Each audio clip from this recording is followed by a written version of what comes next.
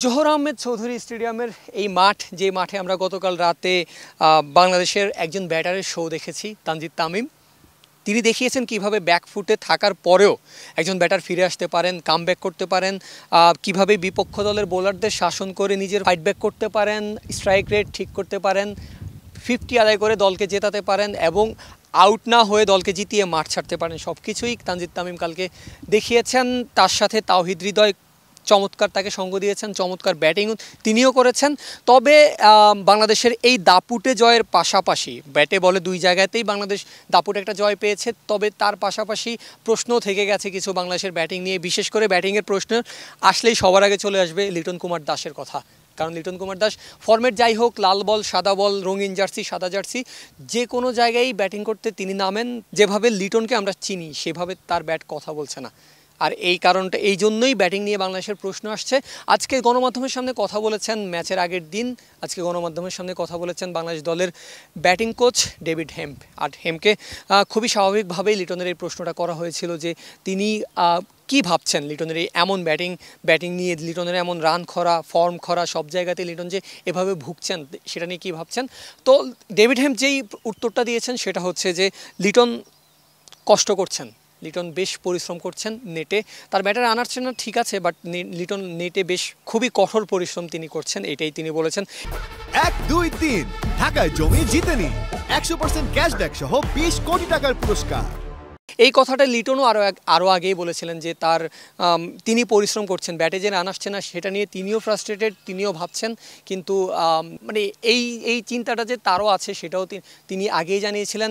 আর এখন কোচও সেম কথাই বলেছেন যে লিটনের লিটন নেটে বেশ, সবচেয়ে বেশি পরিশ্রম যারা করছে, তাদের মধ্যে একজন, আর এটা এক অ্যাকচুয়ালি প্রমাণিত। কারণ আমরা যখন দেখেছি যে ম্যাচ শুরুর আগে, সিরিজ শুরুর আগে বাংলাদেশের যেই তিন দিনের অনুশীলন সেশন ছিল, সবচেয়ে বেশি সময় ধরে যে ক্রিকেটাররা অনুশীলনে ঘাম ঝরিয়েছেন, তাদের মধ্যে লিটন একজন ছিলেন। সেটা দেখা গিয়েছে কিন্তু মাঠে তার ফল এখন পর্যন্ত লিটন পাচ্ছেন না। লিটন তার তার ব্যাট সেই ফল দেখাতে পারছেন না।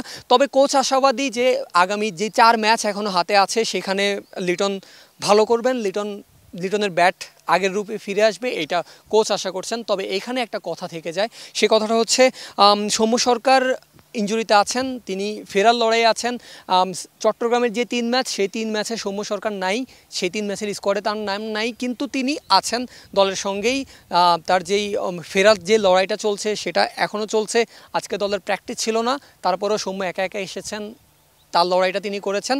তো সেই ব্যাপারে কোচ খুবই আশাবাদী যে সৌম্য সৌম্যকে তারা ঢাকার যে দুই ম্যাচ আছে, এই পাঁচ ম্যাচ সিরিজের যে দুই পর্বের ঢাকার ম্যাচ আছে, সেখানে তারা সৌম্য সরকারকে খেলাবেন। আর সৌম্য সরকারকে যদি খেলানো হয় তার আগে যদি লিটন ভালো কিছু করতে না পারেন, তার ব্যাট যদি ভালো কিছু করতে না না পারে, তাহলে হয়তো বা লিটনের জায়গাতেই সৌম্য সরকারকে কাম করানো হতে পারে। কারণ আমরা যদি দেখি, তিন নম্বর থেকে শুরু করে নাজমুল হোসেন শান্ত যেখানে ব্যাট করছেন সেখান থেকে শুরু করে মোটামুটি যেই জায়গাগুলো আছে, যেই জায়গাগুলোতে বলার ব্যাটাররা ব্যাট করছেন, সব জায়গা মোটামুটি ফিক্সড যদি না সাকিব আল হাসান ফিরে আসেন, সাকিব আল হাসান ফিরে আসলে একটা দুইটা পরিবর্তন আমরা দেখতে পারি। তবে তার আগ পর্যন্ত, আগামী তিন ম্যাচ পর্যন্ত মোটামুটি জায়গাটা ফিক্সডই আছে। তো এখন দেখার বিষয়, সৌম্য সরকার কার জায়গাতে ঢুকেন? তবে আর লিটন দাসকে বসানো হয় কি না? যদিও কোচ আশাবাদী যে লিটন দাস এই সিরিজেই কামব্যাক করবেন। তবে আগামীকালকের ম্যাচে লিটন খেলছেন, এটা কনফার্ম এখন পর্যন্ত বলাই যায়। কারণ এই বিষয়ে কোনো ইঙ্গিতই কোচের কাছ থেকে পাওয়া যায়নি, কারণ তিনি আশা বারবার একটা কথাই বলছি যে, কোচ আশাবাদী লিটন কামব্যাক করবেন এই সিরিজ দিয়েই। আর লিটনের কামব্যাক করার যে কত বেশি জরুরি বিশ্বকাপ উপলক্ষে সেটা আমরা আরও বেশি হাড়ে হাড়ে টের পাচ্ছি সবাই দর্শকরা সেটাই চাইবে যে লিটন ফিরে আসুক, কারণ অস্ট্রেলিয়ার সেই ইনিংসের কথা আমরা কেউই হয়তো এখনও ভুলিনি, আর বাংলাদেশের ক্রিকেটাররা অনেক লম্বা সময় ধরে মনে রাখবে, ভারতের বিপক্ষে লিটন দাস যেই তড়িৎ ব্যাগে তড়িৎ গতিতে যেই রান তিনি তুলেছিলেন, সেই রান তোলার ক্ষমতা বাংলাদেশের স্কোয়াডের দরকার বিশ্বকাপকে সামনে রেখে। আর লিটনের সেই ক্ষমতাটা আছে, আর শুধু দরকার এখন তার ব্যাট একটা ইনিংসে। আমি বিশ্বাস করি একটা ইনিংসে যদি তিনি ক্লিক করেন, তাহলে তিনি কামব্যাক করতে পারবেন অথবা কামব্যাক করবেন। এই সেই সঙ্গে আর ওয়েদারের ব্যাপারটা একটু চলে আসে আবারও, কারণ চট্টগ্রামে গতকাল আমরা গতকাল সকালবেলা আমরা বৃষ্টি দেখেছি, তারপর সারাদিনে মোটামুটি ভালো ওয়েদার ছিল, কিন্তু সন্ধ্যার পর দফায় দফায় বৃষ্টি এসেছে।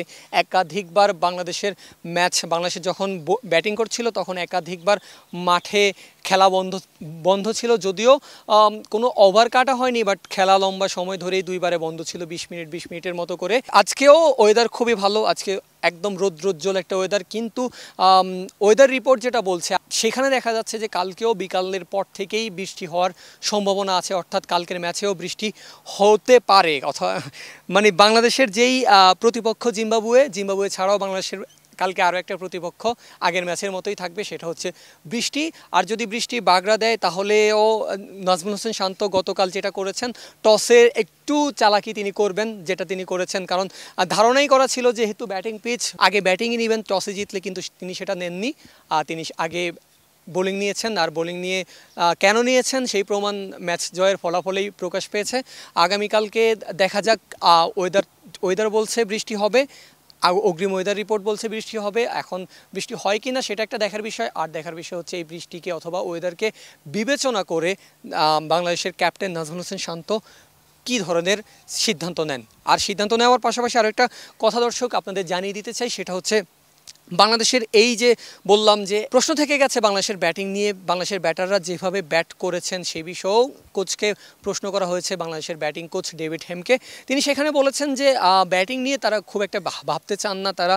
ডে বাই ডে নিজেদের খেলাটা, সেরা খেলাটা চালিয়ে যেতে চান। সেরা খেলাটা চালিয়ে গেলেই তিনি বিশ্বাস করেন তার টিম জিতবে। অফকোর্স তার টিম গতকাল জিতেছে কিন্তু এই দলের বিপক্ষে এই একশো চব্বিশ রানের টার্গেটের ম্যাচ পনেরো ষোলো ওভার পর্যন্ত খেলাটা কতটা প্রশ্নবিদ্ধ করেছে সেটা নিশ্চয়ই এতক্ষণে যারা মোটামুটি ক্রিকেট নিয়ে ঘাটেন, তারা বুঝে যাবেন সর- সর্বোপরি এইটা বাংলাদেশের বিশ্বকাপের প্রস্তুতির সিরিজ। সো এখানে একটু বেশি আরও একটু অ্যাগ্রেসিভ ব্যাটিং আশা করেছিল, কারণ বাংলাদেশের, আমরা যদি বলি বাংলাদেশের গতকাল আমি যদি ভুল না করি, পাঁচ ওভার পর্যন্ত বাংলাদেশের রান বিশের নিচে ছিল বাউন্ডারি এসেছে মাত্র একটা। তো এই রকম ব্যাটিং নিশ্চয়ই কেউ একটা বিশ্বকাপে যাওয়া প্রত্যাশী, বিশ্বকাপের জন্য প্রত্যাশী দলের কাছ থেকে এরকম ব্যাটিং অফকোর্স কেউ আশা করবে না। তবুও কোচ নিজের টিমের প্রতি বিশ্বাস রাখছেন আশা করছেন যে যে কোনো পরিস্থিতিতেই তার দল এমন একটা দল আছে যে দল জয় বের করে আনতে পারবে, বের করে আনার সক্ষমতা তার দলের রয়েছে। সব মিলিয়ে তানজিদ তামিমের ব্যাপারটাও তিনি বলেছেন, তানজিদ তামিমকে তিনি এইচপি থেকে চিনেন, সেখানে তাকে বেশ ভালোভাবেই সেখান থেকে তিনি পর্যবেক্ষণ করে এসেছেন। ডে বাই ডে তানজিদ তামিমের যে উন্নতির কথা সেটাও তিনি বলেছেন। সব মিলিয়ে বাংলাদেশ আগা- আগামীকালকে, বাংলাদেশ যদি সব কিছু ঠিকঠাক থাকে বাংলাদেশি এগিয়ে থাকবে। এখন পর্যন্ত যাই মনে হচ্ছে মানে সিরিজ জয়ের পথ- কিংবা হোয়াইট ওয়াশের পথে বাংলাদেশ আরও একটু এগিয়ে থাকবে। আর বাকি যেই ব্যাপারটা ওয়েদার কিংবা কারণ বৃষ্টি আইনে যদি ম্যাচ যায়, তখন তখন হিসাব নিকাশ একটু অন্যরকম হয়ে হয়ে যেতেই পারে। তো সব কিছু বিবেচনায় যদি মাঠে খেলা বিশ ওভার করে হয়, তাহলে বাংলাদেশ এগিয়ে থাকবে। আর বৃষ্টির ব্যাপারটা একদমই আলাদা।